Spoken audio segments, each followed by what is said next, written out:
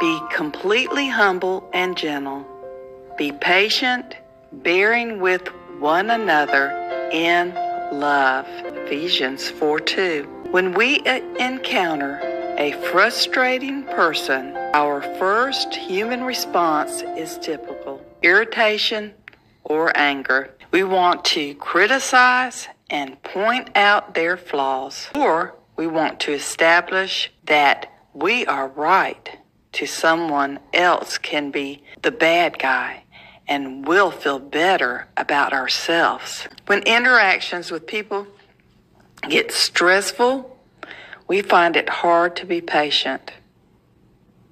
And our fallback back every time is pride, arrogance, and impatience.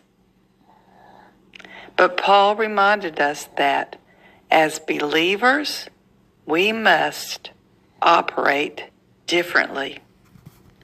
We must live our kingdom values.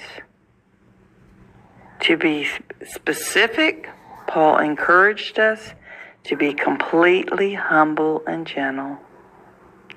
Not partially not partially, but completely. And not by gritting our teeth because we're supposed to be kind but to be wholeheartedly extending Christ like kindness. We are to have servants' hearts of love like our Savior has. Think about a frustrating person in your life. Think about a frustrating person in your life. Maybe someone who knows exactly how to annoy you, annoy you on the daily. Just annoy, annoy, annoy. Now, ask the Holy Spirit to work in your heart so you can be humble, gentle, and patient, extending genuine Christ like love.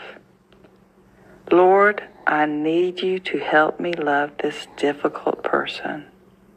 Please help me. In life, we all will encounter difficult people daily. But this is a great message to heed to. Usually, hurting people hurt others. We never know what somebody else is fighting. We never know what somebody else is struggling with.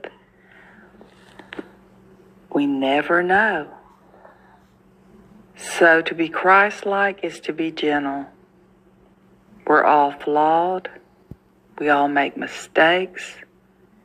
And the worst speech you'll ever give is when you're angry. Remember that.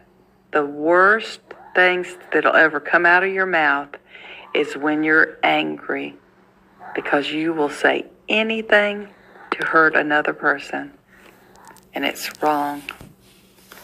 So, most gracious Heavenly Father, we just come to you now and we pray that we will pray for our enemies, that we will walk away from strife we will walk away from those that try to persecute us, but in love, if we have to engage, we will be Christ like.